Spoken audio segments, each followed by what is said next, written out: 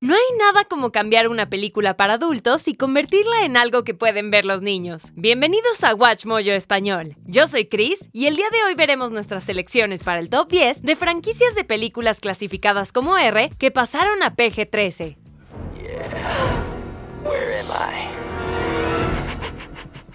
Antes de comenzar, publicamos contenido nuevo todos los días. Asegúrate de suscribirte a nuestro canal y activar las notificaciones de nuestros videos más recientes. Para esta lista, veremos varias franquicias que comenzaron como películas para adultos clasificadas como R antes de pasar a PG-13, que significa apto para toda la familia, aunque solo fuera para una película. Muy bien, comencemos.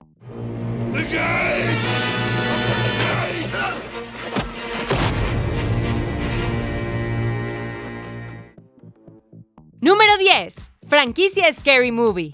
Las dos primeras películas de Scary Movie fueron increíblemente crueles y ofensivas.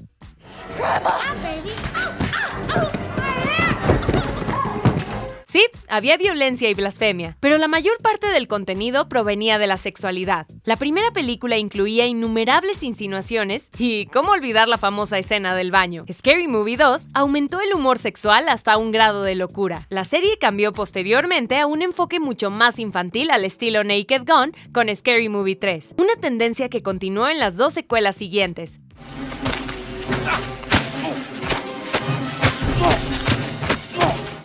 Sin embargo, eso no quiere decir que fueran menos divertidas. De hecho, la mayoría de la gente estaría de acuerdo en que la película número 3 fue mucho mejor que la 2, pero nadie lleva la cuenta después de eso. See?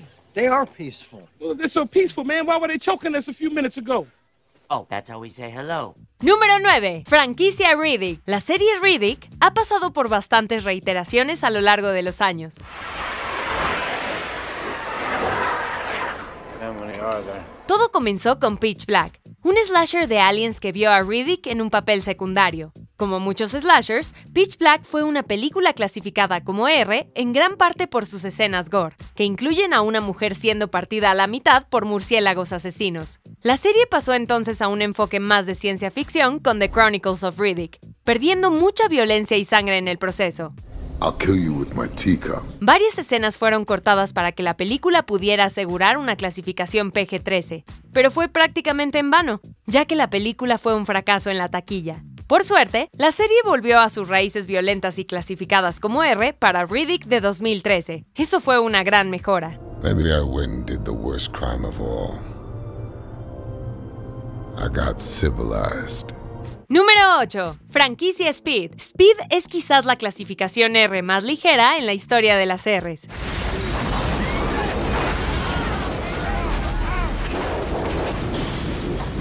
Fue clasificada como tal por violencia y lenguaje, aunque la violencia en el filme es bastante dócil. La escena más extrema es cuando Howard es decapitado en el metro, pero no se hizo de manera gráfica o perturbadora. No, la clasificación R proviene principalmente de las malas palabras frecuentes, incluyendo la madre de todas las maldiciones.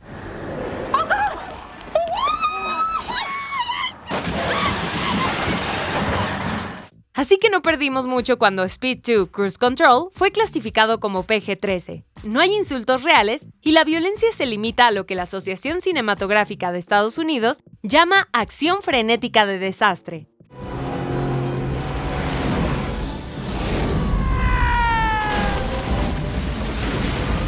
De todos modos, nadie vio Speed 2, así que no importa. Número 7. Franquicia Vacation. La mayoría de la gente conoce la serie Vacation gracias a Christmas Vacation, el inofensivo clásico navideño clasificado como PG-13 que no presenta desnudos y no dice groserías. bueno, con una excepción divertidísima. Decimos esto porque la primera película de Vacation fue clasificada como R. Fue lanzada en 1983, un año antes de la llegada de la clasificación PG-13. Dicho esto, todavía recibiría una clasificación R en la actualidad.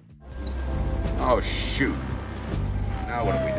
Vemos los pechos desnudos de Ellen en dos ocasiones distintas, y el lenguaje no se ha cambiado en absoluto. Está claro que la primera película de Vacation era para los padres, mientras que las películas posteriores, incluyendo Christmas Vacation, eran orientadas para toda la familia.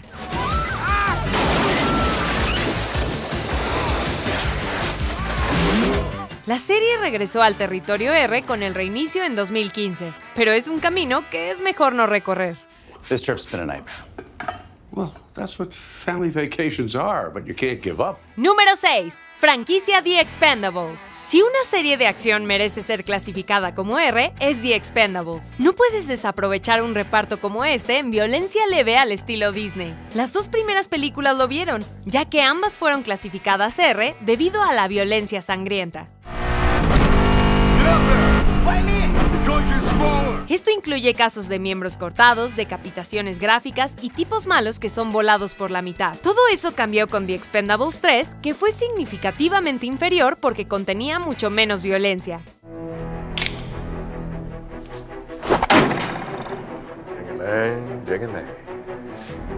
Sí, todas las puñaladas, explosiones y disparos tradicionales están presentes, pero ya no están los resultados intensos y desordenados. Cambió completamente la naturaleza de la serie de las películas e hizo que pareciera que se dirigían a una población más joven en lugar de la nostalgia de las películas de acción de los 80.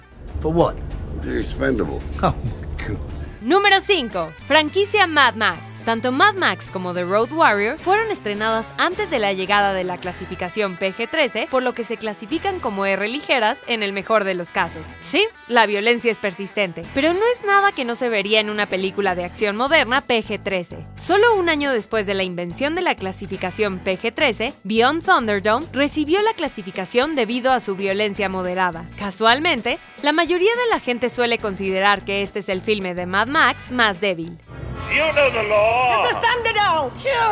La clasificación R fue posteriormente restablecida para Fury Road, aunque esta también fue una R ligera en su mayor parte.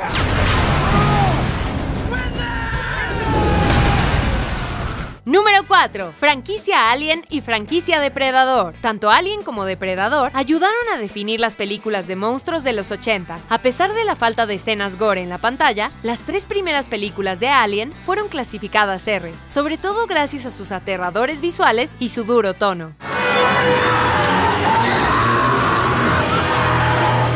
Esto cambió con Resurrection, que contenía muchos más detalles gráficos. Depredador fue la más violenta de las dos franquicias, ya que contenía ejemplos sangrientos de despellejamientos, mutilaciones y extremidades cortadas.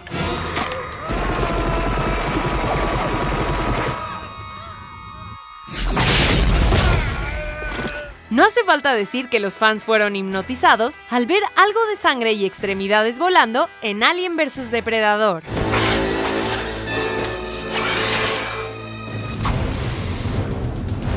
Seguramente tiene lo más espantoso y sangriento de ambas franquicias, ¿cierto? No, era una ridiculez PG-13 que eliminó los momentos más violentos, y la mayor parte de la violencia sangrienta fue entre los propios monstruos. Eso está cool, ¿cierto? Número 3. Franquicia Die Hard. Cuando se anunció que Life Free or Die Hard sería PG-13, fue como si el mundo se terminara. Las tres primeras películas son bastante violentas, con John volviéndose progresivamente más sangriento a lo largo de la historia. Los matones son apuñalados en el ojo y un hombre es cortado por la mitad con un cable. Además, John McClane ayuda a transmitir el estatus del hombre común con las malas palabras. ¿A quién no se le saldría una grosería en su situación? En Life Free or Die Hard, John se ensucia en lugar de sangrar, y la película tuvo el descaro de editar su icónica línea GPKA con un disparo. Sin embargo, aún así la tomamos sobre A Good Day to Die Hard, que demostró que una clasificación R no equivale automáticamente a una buena película. What a shame your father won't be alive to see you promoted. Neither will you.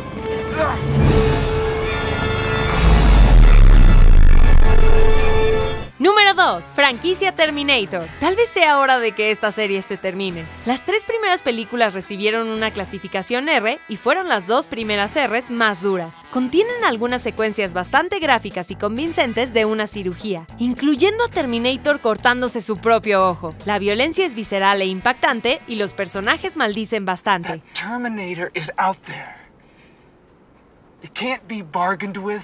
It can't be reasoned with. Sin embargo, Salvation y Genesis tomaron el camino fácil PG-13 y como resultado, las películas se vieron afectadas.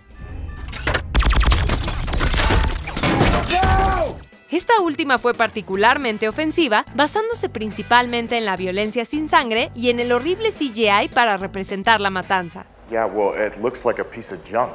La serie volvió a la clasificación R con Dark Fate, pero a todos les había dejado de importar, y principalmente eso fue porque no era nada comparado con las dos primeras películas. Antes de continuar, asegúrate de suscribirte a nuestro canal y activar las notificaciones para más videos. Número 1. Franquicia Robocop. El primer Robocop es posiblemente una de las películas más violentas de la historia y originalmente recibió una clasificación X basada únicamente por su violencia gráfica. Thank you for your cooperation. Good night. Sí, la mayoría de la violencia es cómicamente exagerada, pero aún así cuenta. La segunda película conservó la clasificación R, pero la violencia se redujo significativamente. You sold us out, Officer Duffy. Robocop 3 eliminó las escenas sangrientas por completo, resultando en la famosa clasificación PG-13. También se considera la peor película de la serie, casi como si se hubiera sacado el alma de la franquicia por dinero fácil.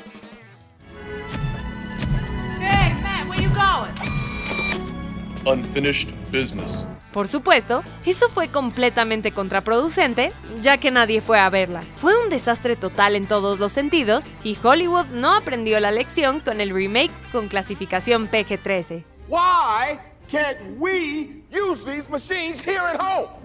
Why is America so robophobic? ¿Quién ve una película como Die Hard o Robocop o Terminator y piensa, oh, tenemos que hacer esto para niños? ¿Te imaginas si la primera película de cada una de estas franquicias hubiera sido clasificación PG-13? Probablemente no hubiéramos tenido más de ellas. Déjanos tus comentarios y haznos saber qué otra franquicia no se hubiera continuado si se hubiera clasificado como PG-13 desde un inicio. ¿Estás de acuerdo con nuestra selección? Echa un vistazo a estos otros videos recientes de WatchMojo Español y asegúrate de suscribirte y activar las notificaciones de nuestros últimos videos.